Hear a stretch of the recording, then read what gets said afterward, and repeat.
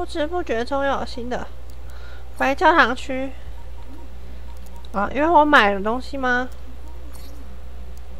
不是，是因为新的，我发现新的地区。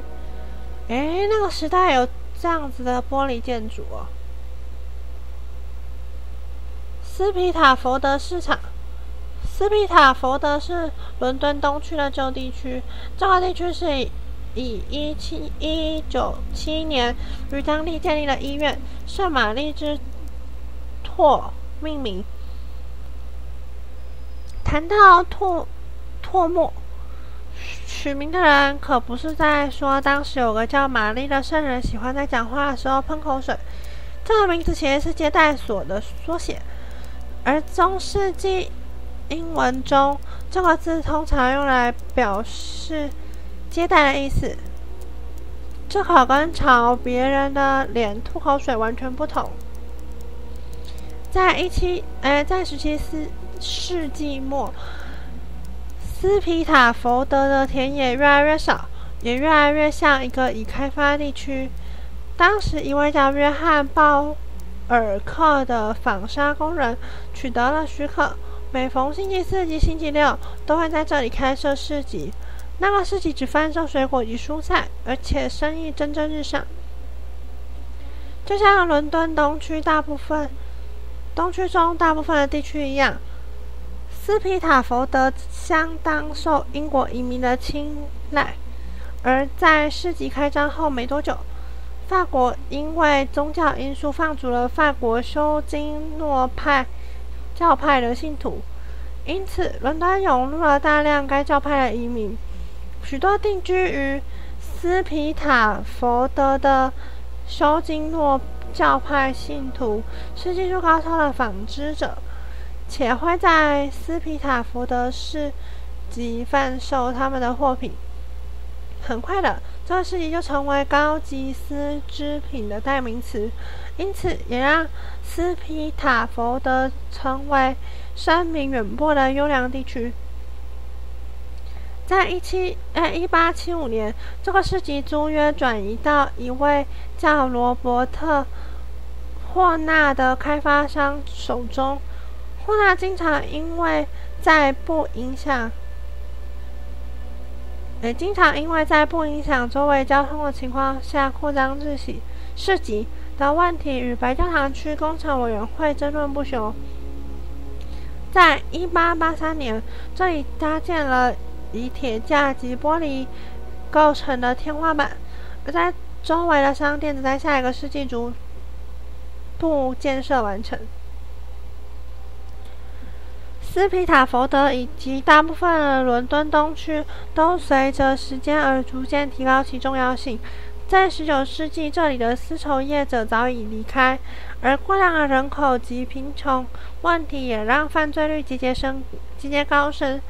当时这个市场仍有仍是相当重要的地点，因为这里会有能力负担的人。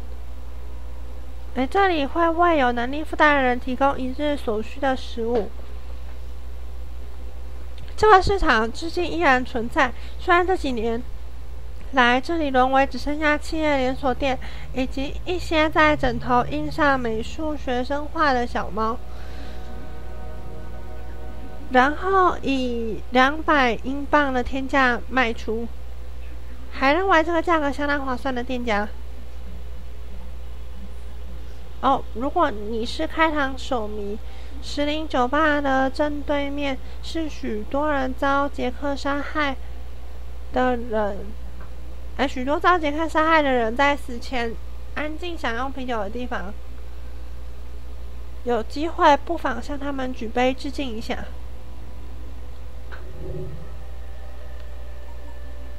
我拿到了一个新的现代条目。富人资料十三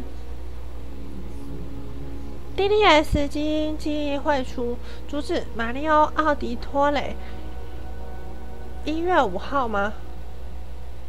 还是五分之一？日期是一四五四年，地点意大利蒙特里久尼，卢西亚诺佩扎蒂公认了蒙特费罗围攻的背后真相。他不是为了蒙特里久尼，而是为了坐落于此的东西。我的祖先所藏起来的东西，我们会找到它的。我们必须找到菲奥伦蒂尼正在搜寻的东西，无论是文物、宝物或垃圾。我已经要求建筑师与历史学家一起解决这个谜团。我们研究了奥迪托雷家族的文书，并找到了许多神秘的讯息与意义不明的参考资料。我们没有办法理解他们。我们派遣建筑师走遍蒙特里久尼各个建筑设计。我们讨论所有可能匿藏东西的地点。